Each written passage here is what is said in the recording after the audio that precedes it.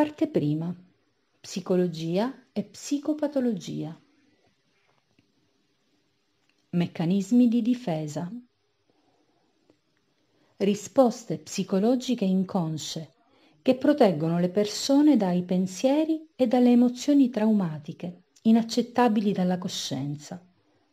La proiezione è un meccanismo di difesa che implica il prendere le nostre qualità o sentimenti inaccettabili e attribuirli ad altre persone. Di solito la nostra indignazione per il comportamento degli altri riguarda un aspetto irrisolto del nostro io. Resilienza. La capacità di riparare se stessi dopo un danno o dolore, di resistere. In tale prospettiva la resilienza implica l'essere in grado di riorganizzare positivamente la propria vita, nonostante le situazioni negative che fanno pensare a esiti negativi. Tra i fattori che promuovono la resilienza, un atteggiamento positivo, l'ottimismo, la capacità di regolare Mini compendio illustrato di psicopatologia, criminologia e neuroscienze. Parte seconda. Criminologia e neuroscienze. Movente. La motivazione dietro al comportamento aggressivo, il leitmotiv, che guida il piano di eliminazione del killer.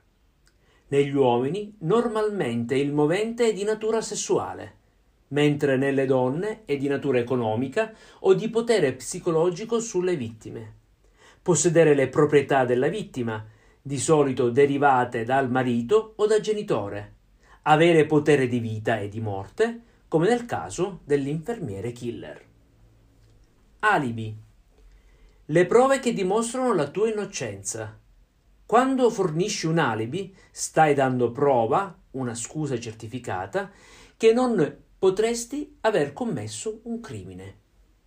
Se l'alibi viene creduto, la giuria deve ritenere l'accusato non colpevole. Un alibi inventato è falso, è appositamente creato dall'imputato per ingannare le autorità. In altre parole, l'accusato ha deliberatamente mentito sull'alibi per distorgere il soggetto da se stesso. Parte terza. L'angolo delle stranezze.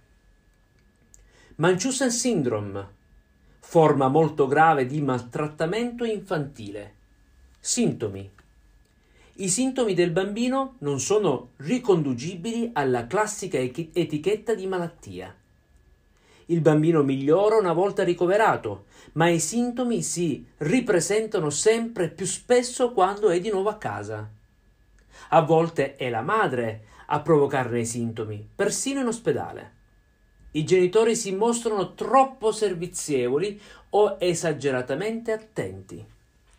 Entrambi i genitori, o uno dei due, sono sempre coinvolti nell'ambiente della visita medica, quale può essere l'infermeria.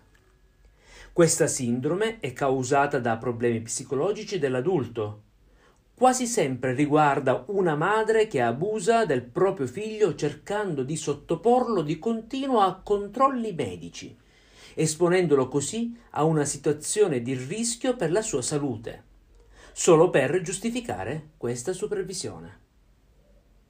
Erotomania. Questa bizzarra malattia psicologica si riferisce a persone del tutto convinte che qualcun altro si è innamorato di loro è che esista un legame speciale che unisca loro all'amato attraverso comunicazioni del tutto personali. Il carattere di questo disturbo è che la persona amata di solito ha uno status molto più elevato rispetto al paziente, spesso una celebrità.